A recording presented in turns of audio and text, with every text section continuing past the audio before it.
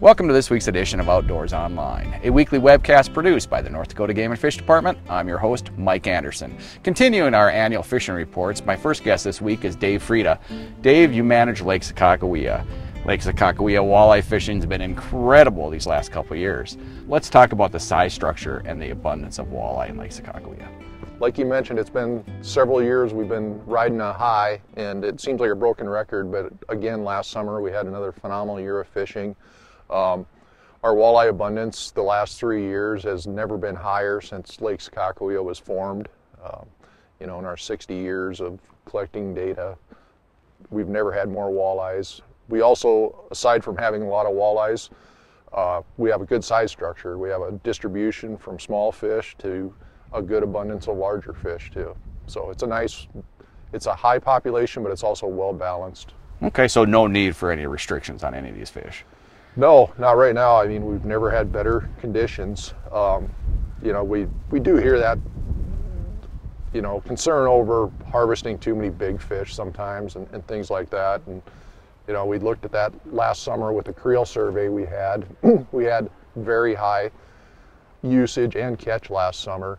Um, you know, like a 1 over 20 inch limit, if there would have been one in effect on Sakakawea, um, our clerks measured just under 10,000 walleyes last year, and 17% uh, of those were over 20 inches out of the total harvest, where 70% of the harvest was 15 to 20 inch fish.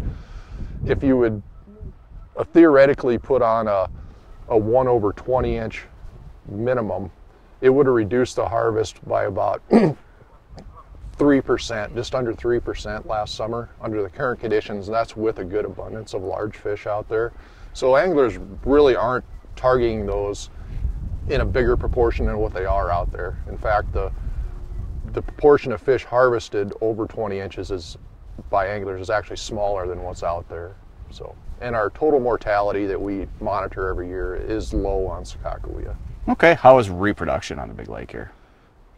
It's been very good since about 2011. Uh, starting in 11, we've had pretty consistent good year classes. Aside from 2012 was about the only poor year class we've had since then. So that's what's playing into this increasing abundance and a good size structure because you know we're eight years into this of good consistent recruitment. So. Okay, and we stock walleyes in Lake Sakakawea too. We do. Uh, stocking is a tool. And at the right times, we stock when conditions are warranted. Um, the abundance that has increased has been due to both aggressive stocking when we got the forage and water back and good natural reproduction. We've seen good reproduction in the central portions of the reservoir the last the last several years. It's been real good. Um, stocking is particularly important in the lower end of the reservoir where we don't see natural reproduction. So Okay. How speaking of forage, how is the forage and the smelt population in Lake Sakakawea? It remains good. We're, we're still riding high high abundance of all forage essentially. So the fish are, and obviously the anglers are seeing that the fish are in good condition. So Dave, one question you guys get a lot during these last couple of years is, boy, all these people are catching all these fish. Is that hurting the population in the lake? Like I alluded to earlier, you know, we, we monitor the population and the abundance has stayed high the last few years, even with even with the high exploitation, at least perceived high exploitation that people have out there. Um, last summer, again, our, our adult fish population survey concluded at the end of July when the vast majority of our harvest is over with by then on Sakakawea. Most of it occurs in June and in the first part of July. Um, we still had very high abundance out there. And again, that's due to consistent recruitment, fish coming into the system and fish going out. Um, we did, anglers last year caught just about a million, just a little over a million walleyes in Sakakawea is what our creel survey estimated. And they harvested about 600,000 of those. Okay, one thing we should talk about too is barotrauma. Um, last year, especially late in the year, those walleyes are moving what 30 feet and lower. Yeah. What's that do for some of the fish that are brought up? Well, Sakakawea is one of the one of the primary places where it becomes an issue that late summer and then the into into fall too. Our fish tend to go really deep on Sakakawea, especially in the middle to lower portions. And uh, you know, there's there's been a renewed, in, maybe not renewed, but more people targeting those deep fish. They're, the techniques have developed. They're deep jigging, lead core, things like that, that they're able to successfully target those fish. And obviously, if you're fishing those extreme depths, 30 foot plus and, and down, you should plan on keeping what you're catching because even if those fish, some of them obviously come up in tough conditions, you can see the, the obvious physical signs that they've got stress. Some of them that look good, they still have internal injuries they can and they may swim away, but they're, they're delayed mortality associated with that. Okay, so, so if you plan on fishing in deep water in late summer, keep your catch. Exactly. Okay, let's move on to your northern pike populations in Lake Sakakawea. Uh, our pike population remains good. It's been trending down overall abundance. Uh, we peaked in about 2010. We had the highest abundance again, similar to walleye, but we had the highest abundance ever of pike, and part of that was we had a the strongest year class we've ever measured in Sakakawea was produced in 2009 after the water came back from the drought. So we had a huge year class. There's been some year classes added since then, but in general, our, our abundance is trending down because those fish are aging. Um, size structure is, there's definitely a lot of good quality pike. Uh, there's definitely a good abundance of 20 pound plus fish out there. Still a good trophy fishery and the numbers aren't as high as they were, but. Okay, uh, a lot of anglers target salmon in late July and August. How are the salmon going in Lake Sakakawea? We had a phenomenal spawning run last year. The, the salmon fishing itself in the summer was so-so. I guess it wasn't lights out, but it seemed to be the fish were there as they proved again in the spawning run. We had a very strong run. We collected very high number of eggs, more than we needed. We filled up the hatchery, took care of some other states' needs. Um, things were good that way. It does seem like, especially when we have these high water years and a lot of smelt stay up reservoir, the bite happens later and later. You know, it's it's late August. The fish don't seem to be pushing down close to the dam where most of the fishing is as early. That there really isn't the need. They have cold water wherever, so the fish seem to be showing up later. Okay, how many salmon are we stocking this this year? Uh, there'll be 400 and some thousand, four to 500,000. And that's a normal stocking? That's a full stocking, yeah. We're producing what the hatchery can produce, the limitations. Any other fish species in Lake Sakakawea that we should talk about?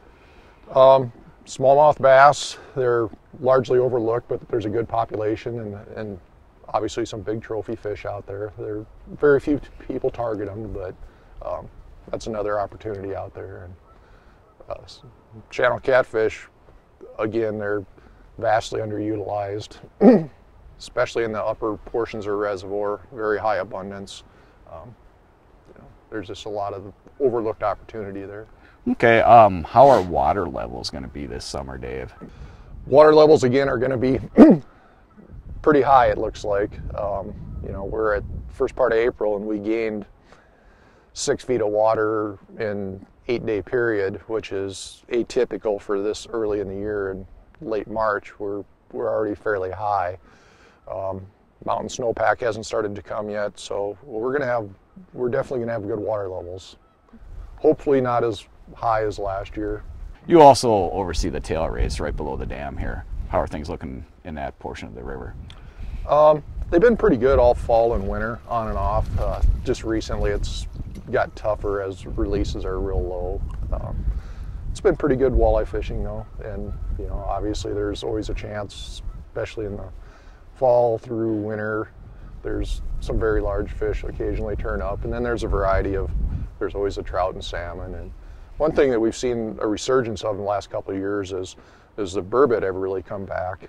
We've seen a real resurgence in burbot. And historically, there was a good burbot fishery down there, and then it really lagged for 10 years or so up until, you know, probably the last three or four, our burbot have really come back. So there's a good fishery going on for those this winter, too. Any unique projects or anything going on this spring somewhere in Lake Sakakawea? Um, we're going to continue a pike tagging project that we started two years ago, uh, targeting just trophy size pike. We arbitrarily set 40 inches, so we're tagging pike that are 40 inches and above to look at exploitation because we've had some concerns among people that the perception that there's too many big pike being harvested. So we're looking at that.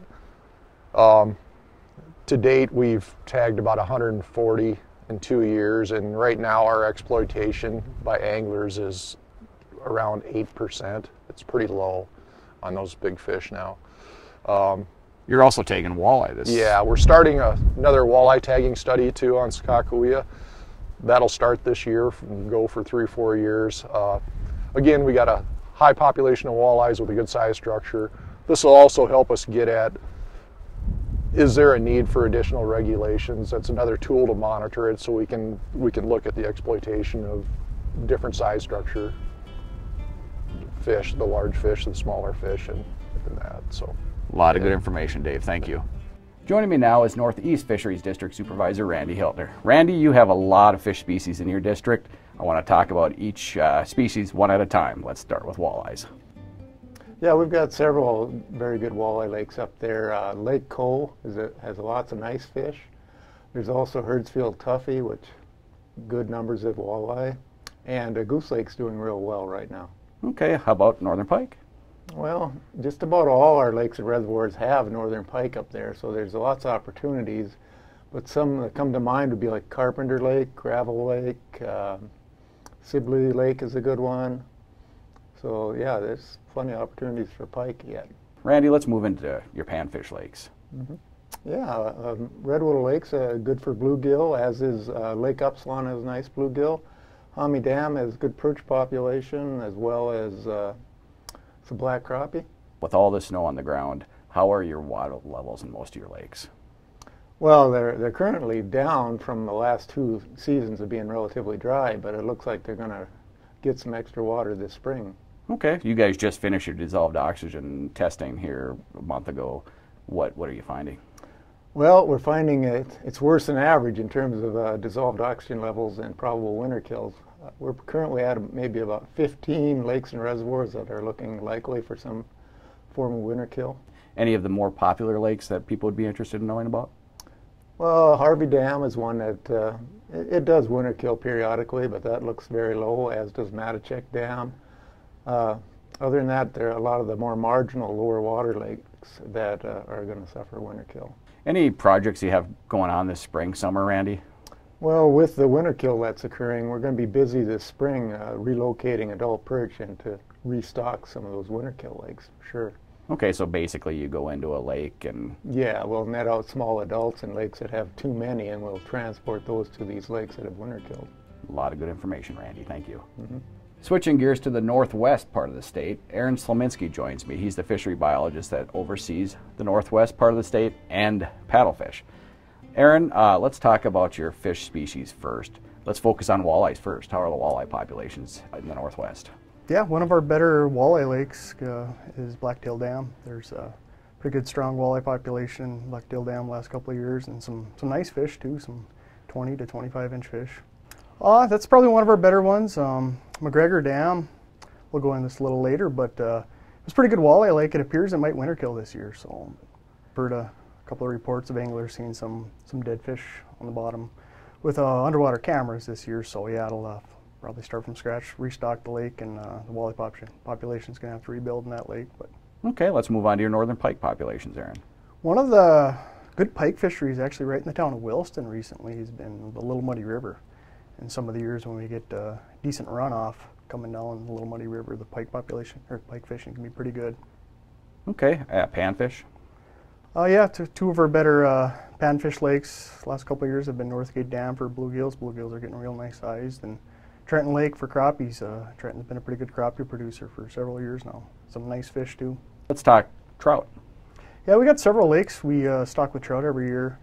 Um, some of the community fisheries. Uh, Spring Lake Park right in Williston, uh, Watford City Pond, Stanley Pond, um, Kota-Ray Dam, McGregor Dam gets stocked with trout every year.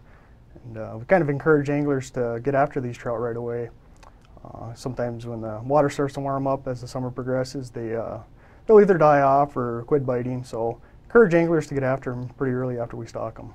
Okay, how about bass? We got a couple of good bass lakes. Uh, Kota-Ray Dam is probably one of our better bass lakes. It's got some real nice largemouth bass. Okay, a project that you guys did in 2017, Aaron, is eradicated Kettle Lake. How is that lake coming along? Yeah, Kettle Lake uh, had a couple illegal introductions of, of fish. Uh, it was kind of managed as a, a, trout lake, and it was a pretty good trout lake. You'd see some carryover trout that would grow, uh, you know, be a couple pounds, and it overwinter and over summer trout. Um, so it was uh, full of stunted perch. So we figured it was a good time to eradicate the lake. Um, and it's kind of got to start from scratch. Um, we get stocked with trout annually every year. We uh, we put some adult bluegills in there. They successfully reproduced. And we threw some largemouth bass in there also. Bass and bluegills kind of go hand in hand sometimes, and largemouth bass can kind of keep the bluegill populations in check. So be a good up and comer lake in the future here, hopefully. Okay, uh, let's move in uh, to your dissolved oxygen testing, Aaron. You guys just finished. You talked a little bit about winter kill. What'd you find? Yeah, several lakes uh, had pretty low dissolved oxygen levels. Um, Cottonwood Lake was one of them. It's a pretty good pike fishery. Pike can be a pretty hardy game fish species. Um, they're typically one of the last game fish to winter kill, but we'll see uh, that one will make it or not. Um, McGregor Dam also had some pretty low oxygen levels, uh, and we did see, I heard reports from some anglers who saw some dead fish on their underwater cameras. Um, Leland and Sather Dam down in McKenzie County also had really low oxygen levels this winter, and they're they're pretty good bass bluegill lakes down there. Um, Short Creek Dam and Tioga Dam. So some of these lakes, uh, some winter kills aren't complete always. I mean, there's always some fish that survive in sometimes, but some of them are total winter kills. But we'll we'll follow up with some netting hopefully once the ice goes out. Aaron, you also have the luxury of overseeing the paddlefish season and the paddlefish population up in the northwest. How are populations looking? Yeah, well, right now we're uh, kind of thriving off of a banner 1995 year class. Um, fish uh, that have been in the fishery for, you know, made a bulk of the harvest for quite a few years now. But what we're seeing, particularly in Montana, up at uh, up at intake fishery up in up the Yellowstone Montana, is they're starting to see uh, this 2011 year class of males starting to show up in pretty good numbers. Um, some of the younger fish definitely make it through North Dakota before our season opens. Um, and uh, we'll expect to see good numbers of this 2011 year class males here in a couple of years in the North Dakota snag fishery. So it's kind of a, a good sign of things for the future. Okay, any changes to this year's season? Nope, changes uh, that we had last year shortened the season from a, a third a month of May to a 21 day season, I should say. Uh, and we shortened the hours. Um, it's a 7 a.m. to 7 p.m. Uh, daily snagging hours. Um, and things will remain the same this year. Uh, last year was a, a, fairly slow season. We had lots of runoff, particularly down the Milk River that dumps into the Missouri River. That Milk River drainage saw some record snowfall. So it was high water and snagging was pretty tough uh, last year. But we'll see a little bit of runoff this year, but probably not like the levels last year. Okay, season runs May 1st to? To May 21st. Or until uh, we reach a 1,000 fish harvest cap, and then we we will give a 24-hour notice of in-season closure, and then four additional snag and release days are following the in-season closure if it happens to we reach a thousand fish. A lot of good information, Aaron. Thank you. Thank you. Anglers are reminded they need a new fishing license starting April 1st. Licenses can be purchased by going to the North Dakota Game and Fish Department's website at gf.nd.gov or by calling 800 406 6409 are going to more than 140 vendor locations throughout the state. New this year, hunters and anglers will be given the opportunity to register as an organ, eye, and tissue donor. By clicking the link after purchasing a license, users will be directed to the North Dakota Department of Transportation Donor Registry. For more information regarding donor registry, visit DOT's website shown on the screen or contact LifeSource directly at 888 5 Donate. For Aaron Slominski, Dave Fryda, Randy Hiltner, and the rest of the staff here at the Game and Fish Department. Thanks for joining us for this week's Outdoors Online. We'll see you again next week.